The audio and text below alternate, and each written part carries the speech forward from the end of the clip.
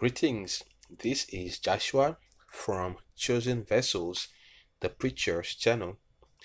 We have uh, new details of the meaning of the name Seth put together by Mr. Drew Short. And again, we'd love to thank him for his contribution. Also, we'd love to use the occasion to encourage everyone to study and learn the ancient Epic, the ancient Hebrew. So together we may gain a fuller understanding of what Yahweh is trying to convey to us by means of the letters. So far, so good. So far, we're we're, we're content uh, about uh, our progress. So far, so good.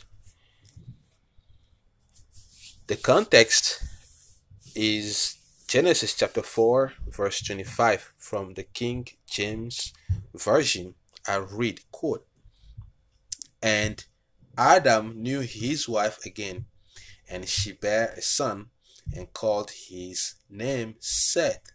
For God said, She hath appointed me another seed instead of Abel, whom Cain slew unquote. So this is uh, the an image uh, of Seth. Okay, it is for uh, the purpose of illustration only, and this image here is not an inference to the actual person Seth. And uh, thank you for your understanding in that regard. So in Seth, the root consonants are the sa and the the okay? So the just as we now have it uh we still have it in in other Ewe names such as Ayite meaning what? Son of Ayi as one example. So the root consonants in Seth are the sa and the the the sa means to connect. Uh, and here it is what? Appointed okay? It's a, a connection and then the seed here is the the it means an extension seth going out uh, uh, from adam and eve or seth being an extension of adam and eve is a child or a, being their their son. So it is a the it is expressed by the letter the as we have it in the name. However mr drew is going with all the letters um, so as to highlight other important details touching Seth as we are about to see it. So going with all the the letters in the Seth, the Sa is to connect, the A is an entity or a person, and the Ta is the extension or son of, and the Ha, the H is it means consolation. So extension added is what Seth means altogether. So the Sa, uh, Mr. Drew writes, uh, uh, referencing the uh, the number in our ancient Hebrew revived complete chart, and it is number 41. He says Seth is connected to his parents because he was made in their image and likeness. And maybe also number 27.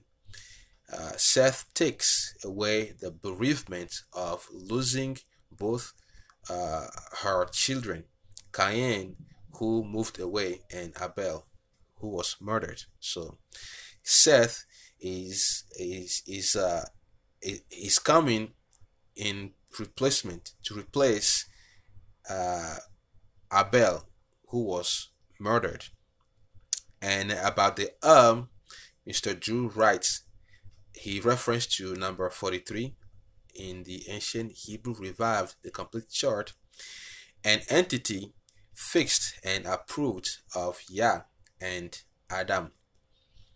And about the tub, he referenced number 48 of the ancient Hebrew revived, the complete chart, meaning uh, Seth is standing in the place of Abel for souls to come through his line In other words, Yahweh intended that uh, righteous seeds will come or may come through Seth.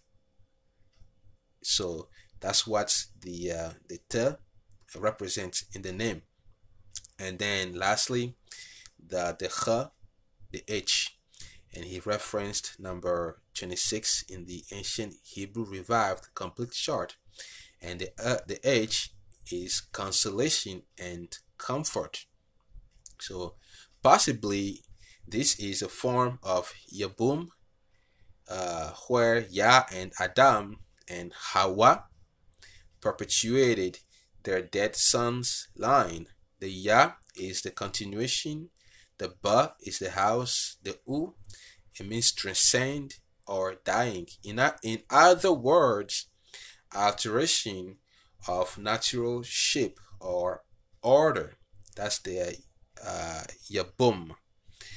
So Mr. Drew put it together beautifully. And now we have uh, a more profound meaning of the name Seth.